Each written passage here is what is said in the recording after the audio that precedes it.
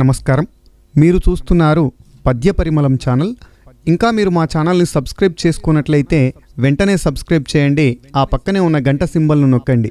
దాని ద్వారా మేము చేసే కొత్త కొత్త వీడియోస్ మీకు నోటిఫికేషన్ ద్వారా రావడం జరుగుతుందండి. ప్రస్తుతం ఈ వీడియో రూపకల్పనకు సహకరించిన రాఘవరావు గారికి ప్రత్యేక కృతజ్ఞతలు. ఈ వీడియోలో సుమతి శతకంలోని పద్యాలను నేర్చుకుందాం. ముందుగా మొదటి పద్యము శ్రీరాముని దయచేతను నారూడిగ సకల జనులు నౌరాయనగా. ధారాళమైన నీతులు నోరూరగ చవులు బుట్ట నుడివెద సుమతి.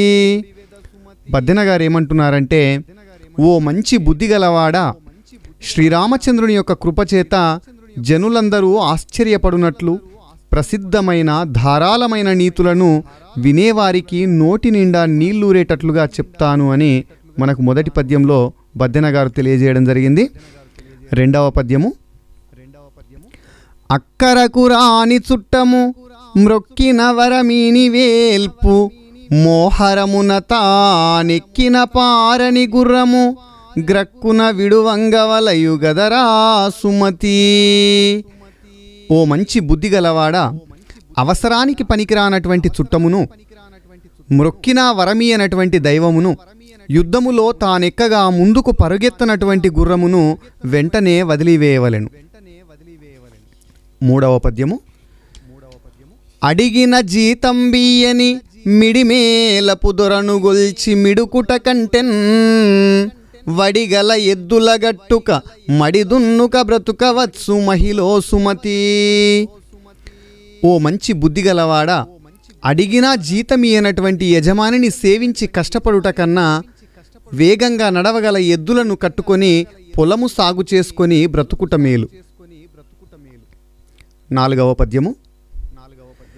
అడియాస కొలువు గొలువకు గుడిమనియము సేయబోకు కుజనుల తోడన్ విడువక కూరిమి సేయకుము అడవిని తోడరయ కొంటి నరుగకు సుమతి. ఓ మంచి బుద్ధిగలవాడా అనవసరపు ఆశగల కొలువును దేవాలయ అధికారమును చెడ్డవారితో స్నేహమును అడవిలో ఎవరి సహాయము లేకుండా ఒక్కడివే ఒంటరిగా పోవుట తగినవి కావు. అటువంటి పనులను మానివేయవలెను అని బద్దెన గారు హితవు పలుకుతున్నారు. ఐదవ పద్యము. అధరము కదలియుగదలక మధురములగు భాషలుడిగి మౌనవ్రతుడవు. అధికార రోగపూరిత భదిరాందక శవము చూడ పాపము సుమతి. ఓ మంచి బుద్ధి గలవాడా? పెదవి కదిలిందో లేదో అర్థం కాని విధంగా మంచి మాటలను మాట్లాడడము అధికారి యొక్క లక్షణము. అలాంటి లక్షణాలను వదిలిపెట్టి అధికారమనే రోగము చేత మౌనవ్రతం పట్టినటువంటి వాని వలె చెవులు వినిపించనటువంటి వాడి వలె కళ్ళు కనిపించనటువంటి వాడి వలె పెదవి కదల్చకుండా ఉన్నటువంటి అధికారి చచ్చిన శివంతో సమానం. అటువంటి అధికారిని చూచిన వెంటనే పాపం కలుగుతుంది. కాబట్టి అటువంటి అధికారి యొక్క కొలువులో ఉండకూడదు అని హితవు పలుకుతున్నారు బద్దెన గారు.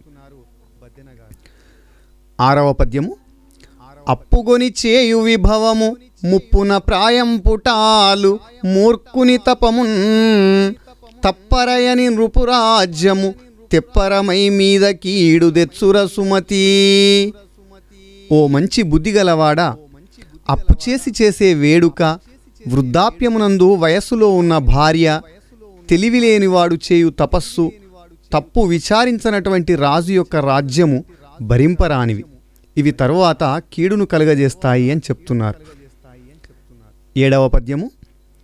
అప్పిచ్చువాడు వైద్యుడు ఎప్పుడు ఎడతెగక పారు ఏరును. ద్విజుడున్ చొప్పడిన యూరనుండుము. చొప్పడకున్నట్టి యూరు సొరకుము సుమతి. ఓ మంచి బుద్ధి గలవాడ? అవసరమైనటువంటి సమయంలో అప్పిచ్చేవాడు వైద్యుడు ఎడతెగకుండా నీరు ప్రవహించునట్టి నది మంచి కార్యములు నిర్వహించునట్టి బ్రాహ్మణుడు. ఇవన్నీ కలిగిన ఊరిలోనే నివసింపుము. ఇవి లభింపనటువంటి ఊర్లోకి వెళ్ళకు అంటున్నారు పద్దెన గారు ఎనిమిదవ పద్యము. అల్లుని మంచితనంబును గొల్లని సాహిత్య విద్య కోమలి నిజమున్ బొల్లున దంచిన బియ్యము తెల్లని కాకులును లేవు తెలియుము సుమతి. ఓ మంచి బుద్ధి గలవాడా? అల్లుడు మంచి గుణముతో గొప్పవాడుగా ఉండడం గొల్లవాడు భాషాజ్ఞానం కలవాడుగా ఉండడం ఆడది ఎప్పుడూ నిజం చెప్పడం. ఊకను దంపగా వచ్చిన బియ్యము తెల్లని రంగు కలిగిన కాకులు ప్రపంచమందు ఉండవని గ్రహించి మానవులు మెలగవలెను. తొమ్మిదవ పద్యము. ఆ కొన్న కూడే అమృతము తా కొంకక నిచ్చువాడే దాత ధరిత్రిన్. సోకూర్చువాడే మనుజుడు తేకువగలవాడే వంశ తిలకుడు సుమతి. ఓ మంచి బుద్ధి గలవాడా? ఆకలితో ఉన్నప్పుడు తిన్నటువంటి అన్నము అమృతము కంటే రుచి కలిగి ఉంటుంది. ఎవరైతే వెనక ముందు ఆలోచించకుండా కష్టములలో ఉన్నవాడికి సహాయం చేస్తారో వారే నిజమైన దాతలు. భూమి అందలి కష్ట నష్టములను ఓర్పుతో సహించువాడే కులమునకు పేరు ప్రతిష్టలు తెచ్చే ఉత్తముడు అంటున్నారు బద్దెనగారు. పదవ పద్యము. ఆకలియుడుగని కడుపును వేకటియగు లంజపడుపు విడువని బ్రతుకున్ ప్రాకొన్న నూతియుదకము మేకల పాడియును రోత మేదిని సుమతి. ఓ మంచి బుద్ధి గలవాడా? ఆకలి తీర్చనటువంటి భోజనము పడుపు వృత్తి చేయు దానితో చేసే వ్యవహారము ప్రాతబడినటువంటి బావి అందలి పాచిపట్టినటువంటి నీరు మేకల పాడి ఇవన్నీ కూడా జుగుప్సాకరములు అంటున్నారు బద్దెన. పదకొండవ పద్యము. ఇచ్చునదే విద్య రణమున జొచ్చునదే మగతనంబు సుఖవీశ్వరులు మెచ్చునదే నేర్పు వాదుకు వచ్చునదే కీడు సుమ్ము వసుధను సుమతి. ఓ మంచి బుద్ధిగలవాడ? ఇతరులకు చెప్పగలిగినటువంటిదే విద్య. యుద్ధభూమిలో ప్రవేశించునట్టిదే ధీరత్వము.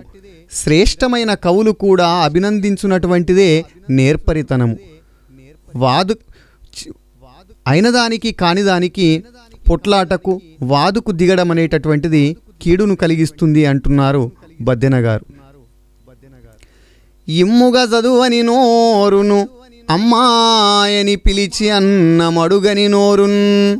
తమ్ముల మబ్బని నోరును కుమ్మరి మను ద్రవ్వినట్టి కుంటర సుమతి. ఓ మంచి బుద్ధి గలవాడ?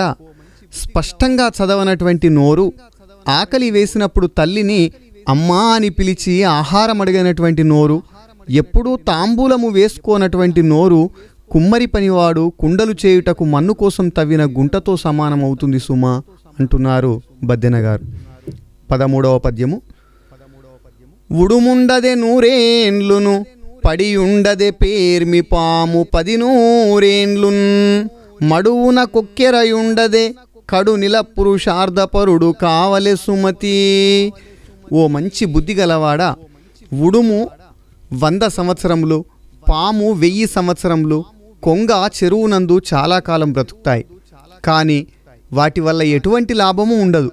మంచి పనులయందు ఆసక్తి కలిగి ఇతరులకు మేలు చేయునటువంటి వాడు ధర్మార్థ కామ మోక్షములను సాధించేవాడు ఉత్తముడు. అతని జన్మ ధన్యము.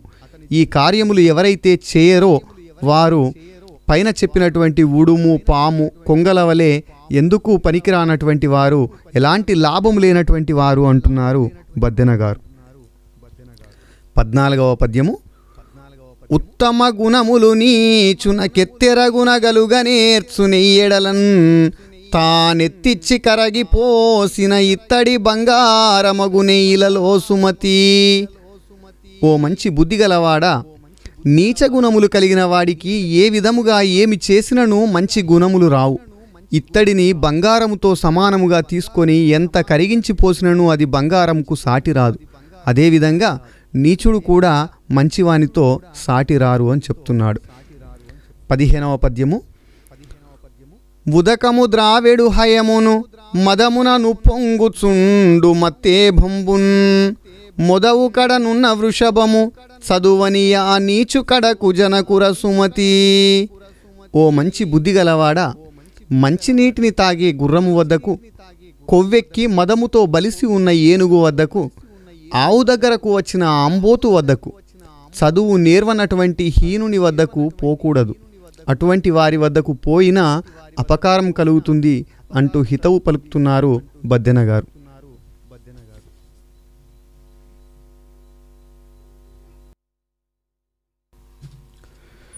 పదహారవ పద్యము. ఉపకారికి నుపకారము విపరీతముగాదు సేయ వివరింపంగా అపకారికి నుపకారము నెపమెన్నక సేయువాడు నేర్పరి సుమతి ఓ మంచి బుద్ధి గలవాడా? మనకు మేలు చేసిన వానికి తిరిగి మేలు చేయడం గొప్ప విశేషం కాదు. కానీ ఎవరైతే మనకు అపకారం చేస్తారో వారికి కూడా మంచి హృదయంతో మేలు చేయడమే గొప్పతనము. పదిహేడవ పద్యము.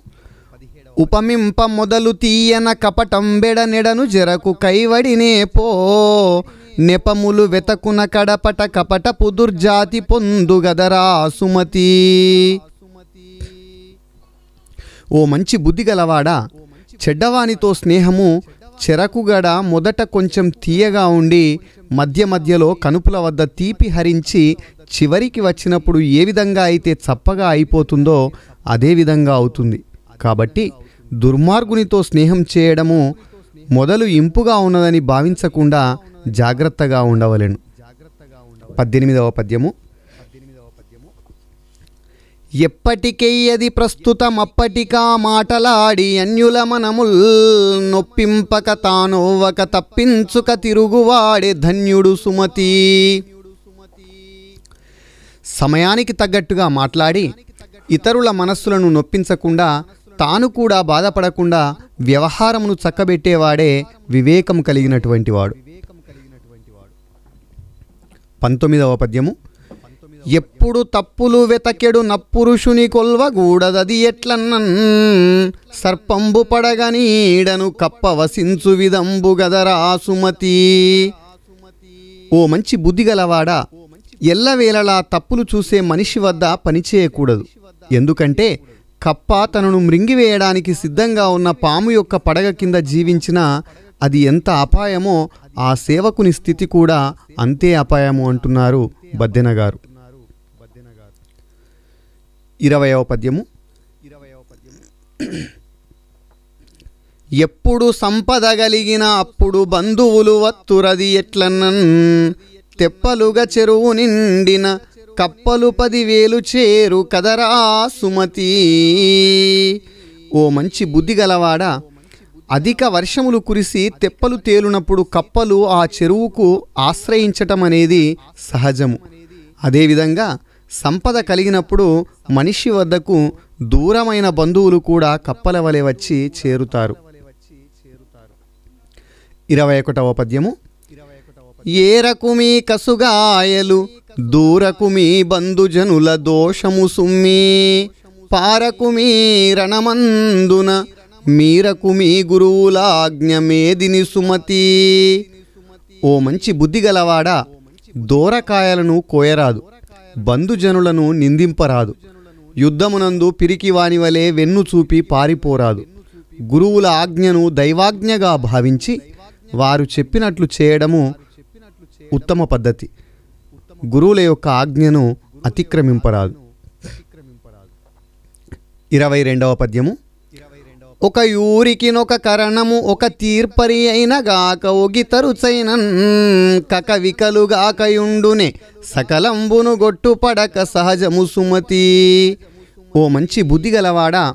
ఒక గ్రామానికి ఒక కరణము ఒక న్యాయం చెప్పే అధికారి ఉంటే సరిపోతుంది.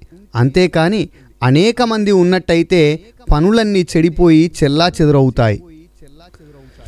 ఇరవై మూడవ పద్యము. ఒల్లని సతి నొల్లని పతి నొల్లని చెలికాని విడువ నొల్లని వాడే గొల్లండు. కాక ధరలో గొల్లండును గొల్లడవునే గుణమున సుమతి. ఓ మంచి బుద్ధి గలవాడా? తానంటే ఇష్టం లేని భార్యను విశ్వాసం లేనటువంటి ప్రభువును ఇష్టపడనటువంటి స్నేహితుణ్ణి విడిచిపెట్టుటకు మనస్సు ఒప్పుకోనటువంటి వాడే గొల్లవాడు. అంతేకాని గొల్ల కులములో పుట్టినంత మాత్రాన అజ్ఞాని కాడు. ఇరవై నాలుగవ పద్యము. ఓడల బండ్లును వచ్చును ఓడలు నా బండ్ల మీద నొప్పుగా వచ్చున్. ఓడలు బండ్లును వలెనే వాడంబడు కలిమిలేమి వసుదను సుమతి. ఓ మంచి బుద్ధి గలవాడా? ఓడలయందు బండ్లు బండ్లయందు ఓడలు వస్తాయి. ఆ విధంగానే మనుషులకు ఐశ్వర్యం వెంట దారిద్ర్యము దారిద్ర్యం వెంట ఐశ్వర్యము వస్తాయి. ఇరవై ఐదవ పద్యము. కడు బలవంతుడైనను పుడమిని ప్రాయం పుటాలి పుట్టిన ఇంటన్ తడ ఉండనిచ్చెనేనియు పడుపుగా అంగడికి తానే పంపుట సుమతి.